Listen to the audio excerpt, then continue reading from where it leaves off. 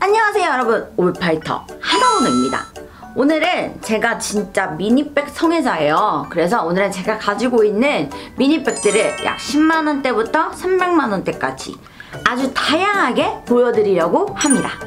제가 키가 158이에요. 그래서 몸집이 일단 작기 때문에 저는 큰 가방을 들었을 때 좀 잘 안 어울리더라고요. 그래서 진짜 핸드폰이랑 립스틱 아니면 카드만 들어갈 수 있는 그런 미니백 사이즈를 진짜 선호합니다. 바로 코치 제품인데요. 네. 신세계몰인가? 신세계몰에서 샀던 것 같아요. 그래가지고 한 10만원대로 구매를 했고 끈이 이렇게 있습니다. 뒤에 카드 슬롯도 이렇게 있어요. 카드 슬롯도 있어가지고 카드는 보통 뒤에다 넣고 보통 핸드폰을 이렇게 쏙 집어넣으면은 네. 이 정도 공간이 남거든요. 그래서 여기다가 여기다가 그냥 lip 제품 하나 옆에다가 그냥 살짝 쑤셔 넣습니다. 그러면은 네 이렇게 닫혀요. 아주 아슬아슬하게 닫히는데요. 안타깝게도 이 아이는 쿠션을 넣을 수는 없습니다. 그래서 수정 화장 안 할 때 이 제품을 주로 많이 들고 다녀요. 언제 제일 많이 들고 다니냐면은 콧노래 상점 일하러 갈 때, 창고 갈 때 이 제품을 많이 씁니다.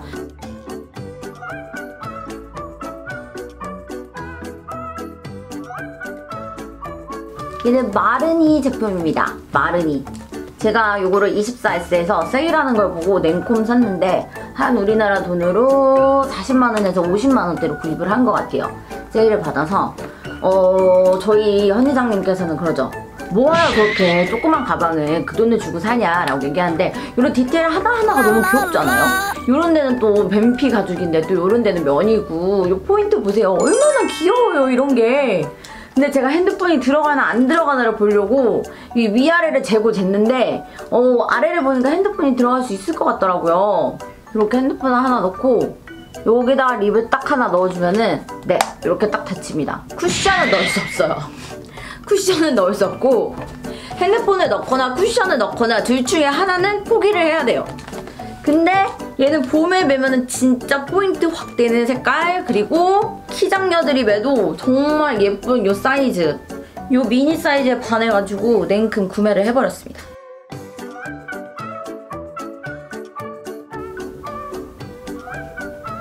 네, 이번에는 끌로의 가방인데 제가 이 가방을 메고 나간 날에는 진짜 칭찬을 안 받은 적이 없어요. 그 정도로 이 가방은 포인트가 정말 제대로 되는 가방이고 끈이랑 여기 열쇠가 있어요. 근데 이 열쇠를 계속 이렇게 따각따각 하고 다니면 열쇠가 여기 가죽에 부딪히더라고요. 그래가지고 저는 열쇠를 그냥 안으로 넣어서 다니는 편이고 이 끈을 분리할 수는 없지만 그래도 이렇게도 들고 다닐 수 있습니다. 손가방으로. 근데 이게 은근히 가방이 커 보이는데 진짜 미스터리인 게 제가 아이폰 11을 써요. 근데 얘를 넣으면은 세로로 넣어도 안 잠겨. 가로로 넣어도 안 잠겨. 그래서 얘를 들고 다닐 때는 핸드폰을 넣을 수가 없습니다. 그래서 주머니에 핸드폰을 넣고 그냥 이렇게 쿠션 하나 넣고 lip 넣고 여기 카드 넣을 수 있는 슬롯은 딱 하나 있어요. 그래가지고 카드 넣을 수 있는 데다가 그냥 카드 정도 넣고 이렇게 다닙니다. 근데 핸드폰은 뭐 주머니에 넣으면 되지. 그 정도로 불편함을 감수할 수 있을 만큼 되게 단단하고 얘가 또 이렇게 스크래치가 잘 안 나요. 그리고 얘는 진짜 red 포인트가 진짜 제대로 되기 때문에 얘 들고 나간 날에는 가방 이쁘다 소리를 안 들은 날이 전혀 없습니다.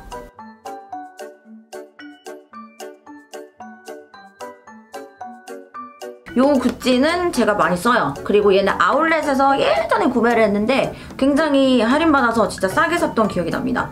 아울렛 가면은 요 디자인 많이 보셨을 거예요. 약간 핑크인데 뭔가 약간 살짝 따뜻한 듯한 핑크? 뭔가 조금 따뜻한 핑크를 자랑합니다. 근데 얘가 진짜 유용한 게 안에 카드 슬롯이 무슨 카드 슬롯 잔치예요. 카드 슬롯, 카드 슬롯. 네. 카드를 여러 개 꽂아라! 라고 아주 그냥 넉넉하게 구찌에서 인심에 팍팍 넣어주셨습니다. 쿠션 들어가고요. 립스틱 들어가고요. 핸드폰 들어가고요. 그립톡까지 넣은 핸드폰인데도 들어가요, 여러분. 쭈라란!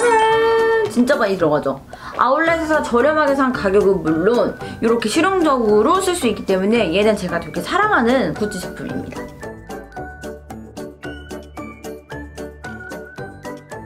프라다 미니 지갑. 얘는 뭐 거의 지갑이에요, 지갑. 얘는 제가 홍콩 갔을 때 되게 저렴하게 100만원도 안 되는 가격을 샀어요. 얼마였지? 60만원대였나? 70만원대였나? 아무튼 굉장히 저렴하게 구매를 했습니다. 얘는 가죽이 진짜 좋은 게 전혀 스크래치 나지 않는 가죽이고요. 프라다 제품 열면은 다소 깔끔하게 되어 있습니다. 안에 보면은 카드 슬롯 이렇게 있고 공간도 어느 정도 넓어요.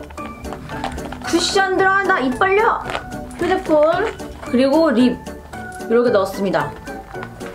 근데 문제는 잠기듯 말듯 잠기듯 말듯 잠기듯 말듯 안 잠겨. 그래서 쿠션이나 핸드폰 중 하나는 포기해야 된다는 점.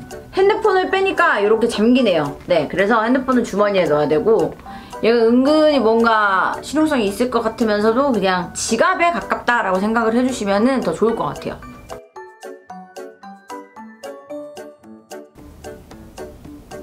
네, 얘는 구찌의 가방인데 사고 나서 지금까지도 후회하는 아이템이에요. 왜냐면은 얘가 진짜 뭐라고 해야 되지? 개복치예요. 개복치 가방. 그래서 손톱으로 살짝만 긁어도 이렇게 손톱 자국이 남아요. 손톱 자국이 보세요.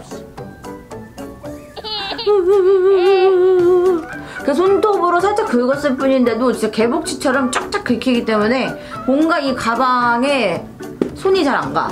그리고 심지어 안에 카드 슬롯도 없어요. 그리고 뒤에 뒤에 카드 넣을 수 있게 돼 있다. 그래도 핸드폰 넣고 쿠션 넣고 이렇게 다 들어가기는 합니다. 좀 빵빵하긴 하지만 이렇게 핸드폰, 쿠션, 립까지 넣어도 이렇게 잠깁니다. 그리고 카드는 여기다 쑤셔 넣어야겠죠.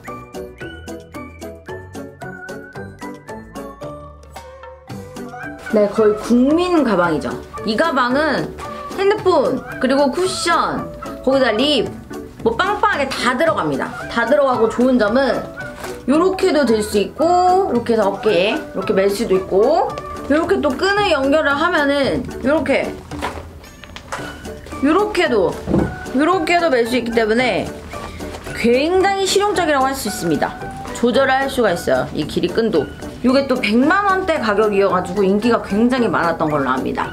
이 가방도 정말 불티나게 프라다에서 팔렸던 가방이죠.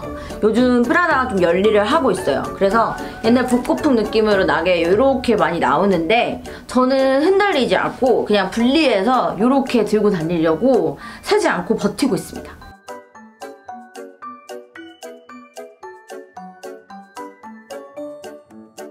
네, 대망의 샤넬.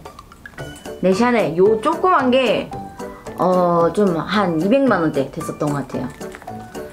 저는 요게 슬롯이 많아가지고, 요런 지퍼들도 많고, 뭔가 되게 많이 들어갈 거라고 생각을 했거든요. 근데 은근히 쑤셔 넣으면 좀 들어가기는 합니다. 보여드릴게요. 이 마법의 수납력을. 저는 이 중간에다가 주로 핸드폰을 넣어요. 이 중간에다 핸드폰을 넣고, 지퍼 있는 부분에 립을 넣습니다. 그리고 그리고 나서 앞에다가 쿠션을 살짝 쑤셔 넣어요. 그러면은 앞이 여러분 보세요 보세요. 이 마법의 수납력 닫힙니다 여러분. 닫혀요. 뒤에는 이제 카드를 넣죠. 여기 뒤에는 카드를 이렇게 넣고 중간에 핸드폰을 딱 넣으면은 짜잔! 이렇게 미니백이지만 굉장히 쿠션도 넣을 수 있고 립도 넣을 수 있고 핸드폰도 넣을 수 있는 이런 수납력을 자랑을 합니다. 이것이 샤넬의 매력인가? 일단 컬러가 굉장히 예뻐요. 약간 살구빛 나는 그런 핑크? 이런 살구 같은 컬러가 봄에 진짜 예쁘거든요. 그래서 저는 이런 컬러 선호하기 때문에 제가 진짜 봄이나 여름에 가장 많이 들고 다녔던 미니백입니다. 이 중간에다가 쿠션을 넣으면은 제가 예전에 공연을 보러 간 적 있었는데 그때 방방 뛰었단 말이에요. 그래가지고 여기다가 립이랑 그런 거 넣어놨더니 다 잃어버렸어요. 그래서 항상 여기는 이제 핸드폰 넣는 공간으로 쓰고 앞에다가 쿠션이랑 립을 쑤셔 넣습니다.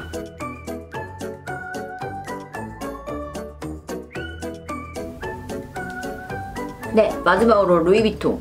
이 제품은 온라인으로 선 런칭을 해가지고 제가 온라인으로 구매를 했습니다. 예전에 루이비통에서 이런 비슷한 이렇게 멜 수 있는 제품이 나왔었잖아요. 이렇게. 근데 그때 그 제품이 한 100만원대였단 말이에요. 그래서 엄청난 인기를 끌어가지고 그때 완전 대풍전 사태였어요. 근데 이 그 제품보다 좀 더 가죽이 좀 더 고급진 이 제품이 나와가지고 랭큼 온라인으로 선 런칭했을 때 샀죠. 요 끈을 이렇게 분리를 할 수가 있습니다. 그럼 요즘 유행하는 스타일로 이렇게 또 멜 수도 있고 카드 슬롯은 애기 할 정도로 굉장히 조그맣게 하나 있습니다. 휴대폰 넣고 그 앞에 쿠션 넣고 립 넣으면은 은근히 여기가 넓기 때문에 다 들어가고 다 잠깁니다. 루이비통 이런 것까지 계산한 것입니까? 이렇게 작으면서도 뭔가 알찬 느낌으로 멜 수가 있어요.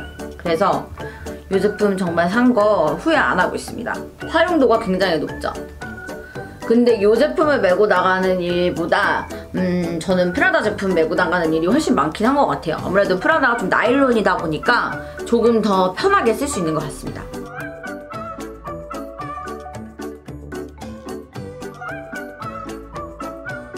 가방 소개를 다 하고 나니까 힘이 빠지네요. 오늘 미니백 성애자 하나번호의 미니백들을 전부 보여드렸습니다. 여러분들은 오늘 제가 보여드린 가방 중에서 어떤 가방이 가장 마음에 드셨나요? 댓글에다 여러분이 마음에 들었던 가방을 적어주세요. 네, 오늘 영상이 재밌으셨다면 구독하기, 좋아요, 알람 설정 잊지 마세요. 저는 다음 시간에 또 재미난 영상으로 돌아오도록 하겠습니다. 안녕!